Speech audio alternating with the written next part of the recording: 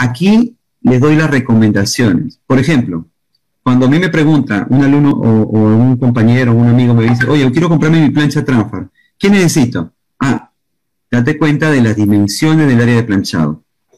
No es lo mismo planchar un polo y ponerlo de esta forma, ¿no? O ponerlo de costado. Va a depender de lo que tú vas a hacer, de lo, del trabajo que estás realizando.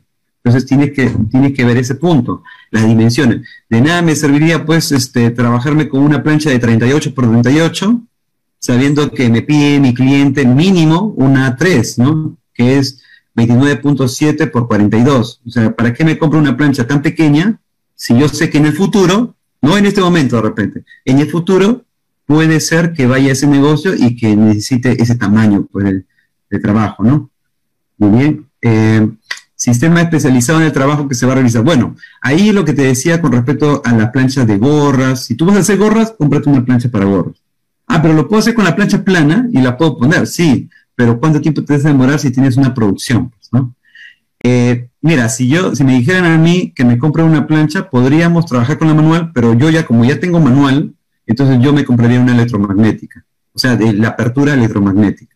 ¿Para qué? Porque yo ya sé, en serigrafía hacemos 100, 200, 500, 1000 polos. Entonces, cansa, ¿no? Estar bajando y estar subiendo. Entonces, aquí sube ¿no?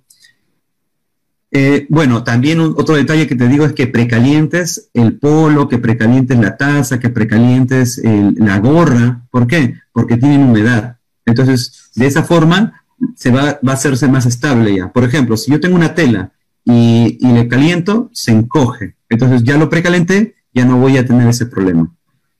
En la instalación eléctrica adecuada, pregúntale al que te vende la máquina cómo es que tienes que tener tu instalación eléctrica. ¿Por qué? Porque después vas a ver que muchas veces el enchufe o el tomacorriente ya se derritió. Justamente, pregúntale eso. Verifica si el despegue es en retiro, en frío o en caliente o en tibio. Va a depender del, vinil, si va a ser en frío, en caliente o en tibio. Fíjate también el transfer, en serigrafía, el rhinestone, en todos los tipos que ya te he mencionado. Y controla la temperatura.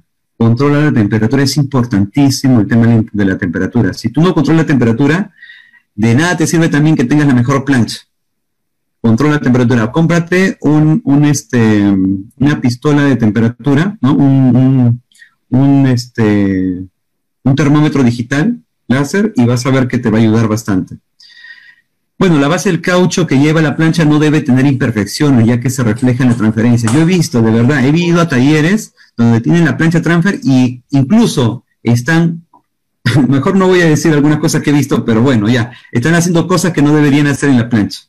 Y lo peor que podrían hacer en algún momento, si ven eso, o sea, yo he visto que hasta han cortado en, esa, en, esa, en ese caucho que tiene la plancha. Y eso es lo peor, ¿por qué? Porque va a quedar marcado en tu estampado, en tu sublimación. Ustedes trabajan con, de repente con el rhinestone, queda ahí pegado el rhinestone, porque se te pasó, lo dejaste ahí, y esa marca queda en la siguiente impresión, ¿no? Cuida la parte superior de la plancha, que no se marque. Justamente eso también se puede reflejar, ese desperfecto, en el impreso, ¿no?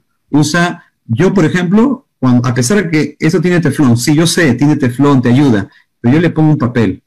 No me cuesta muy caro y además lo puedo reusar, ¿no? Entonces ya me evité esos inconvenientes. Imprime una tabla de tiempos, como la que te hemos mostrado, imprímela. Esa tabla de tiempos y de temperatura, ¿ya? Realiza prueba antes de hacer la producción.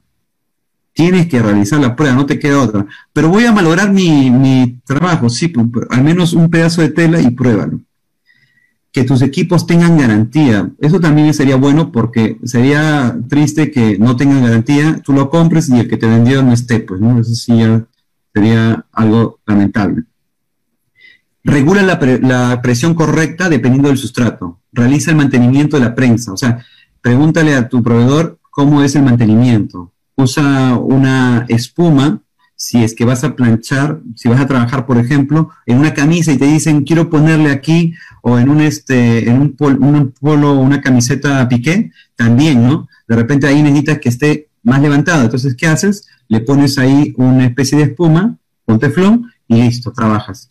Ten en cuenta la producción que vas a realizar para la elección de tu plancha. No es lo mismo planchar hoy 100, 100, 100 planchados hacer hoy que hacer 500, ¿no? Entonces tienes que ver qué es lo que te conviene más, invertir en una manual, en una semiautomática o una neumática, que sería ya la automática, ¿no?